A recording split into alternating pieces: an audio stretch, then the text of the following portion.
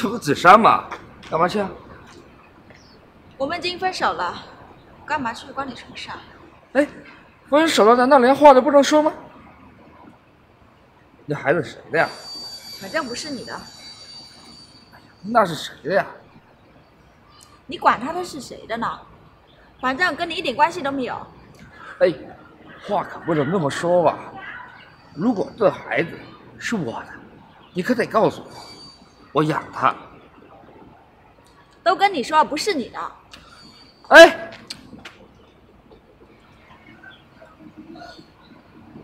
我跟子珊分手还没到一年呢，他怎么就有孩子了呀？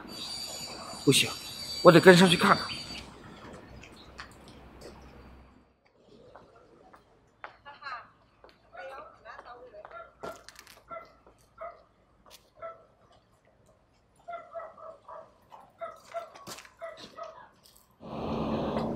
姐，姐，姐，我刚刚碰到大黄了，什么？那他知不知道这孩子是他的？我没告诉他孩子是他的，我就跟他说这孩子跟他一点关系都没有。子珊，你一定不能把这个告诉大黄的，你知道吗？要不然你们两个都没好处的。这个大黄就是个王八蛋。姐，我知道，我不会告诉他的，你放心吧。嗯，那你先进去休息吧。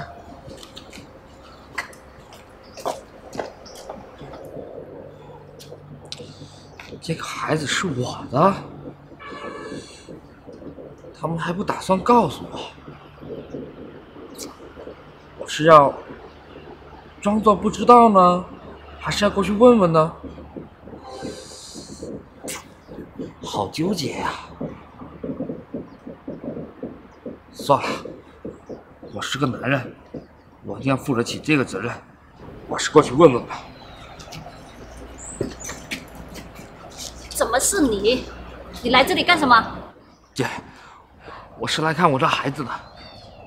什么孩子？这里没有孩子。姐，你就别骗我了。刚刚我这偷听到了，子珊手里抱的那个孩子，就是我的。子珊抱着的孩子跟你一点关系都没有。你走吧。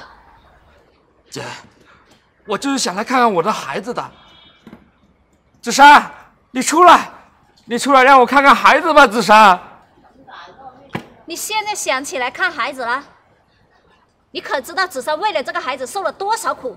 村里的人都说这孩子是没爸的孩子。那个时候你在哪里啊？姐，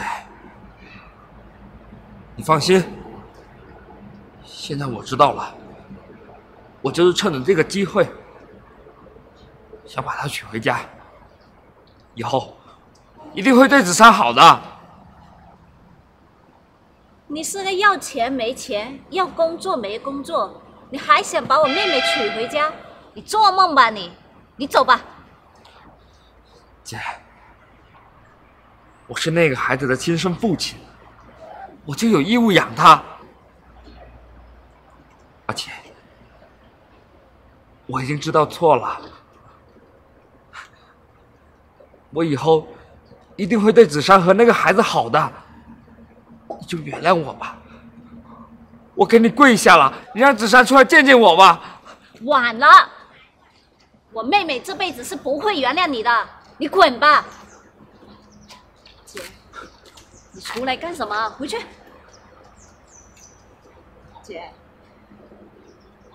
你们刚刚说的话我都听到了。大黄，你知道我为了这个孩子付出了多少吗？你说让我原谅你就原谅你啊？子珊，我已经知道悔改了。你跟我回去，我以后一定会好好工作挣钱，养家的。你真的知道错了吗？我真的知道错了，只要子珊能够跟我回去，以后说什么我都照做什么。行，那我给你提三个条件：好，只要我能做到的，我都答应。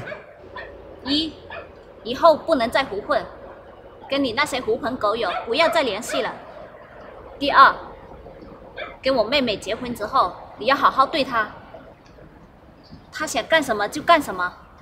第三，你要把她风风光光的娶回去。好，我都答应，我一定会把子珊风风光光娶回家的。那行，你回去准备吧。好，子珊，你在家等我，我回去准备，你一定要等我哦。子珊，你看这小孩也不能没有爸爸。是啊，我一个人带孩子太难了。是啊，只要大黄他知错能改就好了。以后你们结婚了，就好好过日子吧。嗯我知道了。